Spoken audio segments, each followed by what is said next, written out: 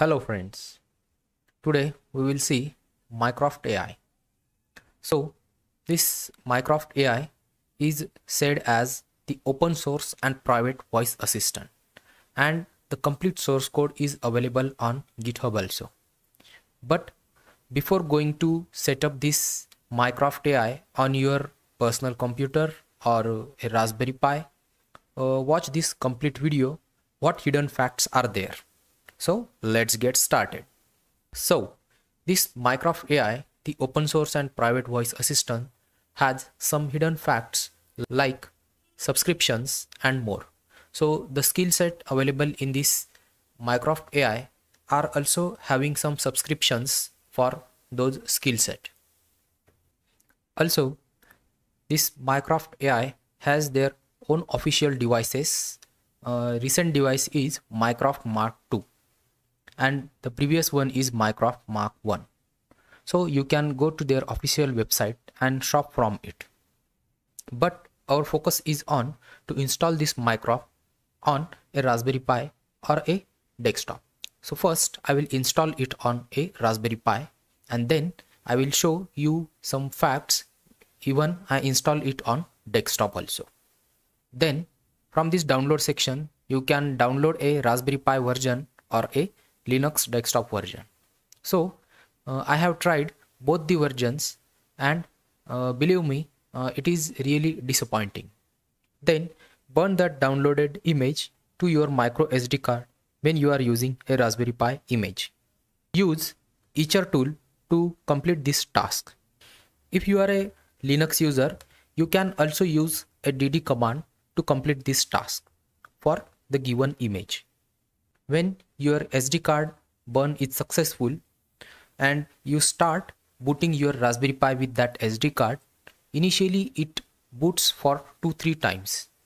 During this boot setup, you can complete the registration on their official website so that you can add your device. Then from the device menu, you can add your new device on their official website. So click on add device. Then fill the relevant information according to your need. Then fill your geographical details as well as personal details like name, your place, when where you are placing this device. But the main point here is you need to add a pairing code which will be appeared when your Raspberry Pi boots multiple times and it completes the setup. So it gives you a unique code that you have to enter here. Now watch all my screenshots of installation steps for Raspberry Pi. This is the first screen when you boot for the first time. Then select which option you want, a guided setup or a just command line setup. Next step is a network connection setup. So set up the Wi-Fi connection for this Mycroft by entering your SSID and password. Next in hardware setup, enter a audio output which you prefer for your Raspberry Pi. So I have preferred a 3.5 mm jack output. Next step is the microphone configuration. So here in the list they have mentioned some good names of USB microphones. But if you observe the fourth option, other USB microphone. So I'm using a, a normal USB microphone which works perfectly on all desktop as well as Raspberry Pi. Even I tested them with uh, Amazon Alexa. So they work fine. So I have used the similar USB microphone with this Mycroft. After the mic configuration, it starts the audio test for your microphone. It start a recording audio clip for selected configuration and play it back. But here I got a little disappointment as it does not record my voice from that microphone. Then select the option as a master branch which auto updates or a dev branch if you are a developer. So I'm selecting here a master branch then it completes the remaining installation step. Next is whether you want to stick with the normal Raspbian configuration for your password as a sudo or requires a password for sudo action. So here I have also selected one option. Then this operating system has a default username as Pi and default password is Mycroft but it gives you option to change it so you can change it if you want it. So after the completion of this setup you can see on the screen it gives you a unique pairing code like this which you have to enter here.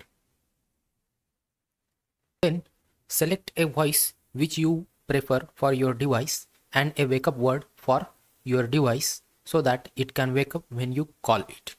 So when you add your device successfully, it shows a connected and uh, don't worry about this platform and core versions. It will get updated shortly when you reboot your Raspberry Pi that is a installed Mycroft device. Now when I started a testing, I found it is not responding me in perfect way. I called Mycroft device 10 times and he responded me in a single time just saying that he has detected a voice. Later on, I checked all my configurations related to my mic as well as my speakers. So I'm getting a correct output when I run a command a play and a record. So I get a perfect voice and recording and a output from my speakers. Then I type some input here. It can detect it very well and respond accordingly. Later on, he never recognized my voice or wake up voice and never responded me. Then I again verified my all mic configurations and speaker configurations all are perfect, perfectly working fine but it is not get detected on Mycroft services. Even on output log, it shows that the mic is detecting some voice, but he never responded me. Then I gone through each and every log and what I found is very surprisingly, it blocks some services if you call it again and again. Even I found a log where Mycroft itself blocks some services when you overcall it. Even I found some Mycroft official services blocks it if you call some skill set very frequently. Then I dropped an idea using Raspberry Pi. Might be there is a driver issue with mic so that it may be not recording my voice clearly. So I completed all the installation steps for my desktop also. And again at the end, what I found is my mic level is also working perfectly, but still it is not giving me a correct response. So here again it is get disappointment of using that mic which work perfectly for all the configurations like Amazon Alexa, Google and so on. Again I found a similar problem related to mic. It detects a level but it doesn't respond me very well. Not very well but even he has not responded me in a single time even if all the installation steps are correct and mic and speaker is wor working perfectly fine. Then I changed all my configurations and tested again and also replaced my mic with another one but still the mic level is working fine but Mycroft never responded me back. And later on again in log I found he blocks again my some services.